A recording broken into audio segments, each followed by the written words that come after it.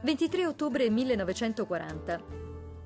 Nasce in Brasile Edison Arantes do Nascimento, per tutti i Pelé, uno dei più grandi campioni di calcio di tutti i tempi. È l'unico calciatore ad aver vinto tre edizioni dell'allora Coppa Rimé con la nazionale brasiliana nel 1958, 1962 e 1970. Il suo gol contro la Svezia nella finale del 1958 è considerato il terzo più grande gol della storia della Coppa del Mondo e primo fra quelli realizzati in una finale di un campionato del mondo.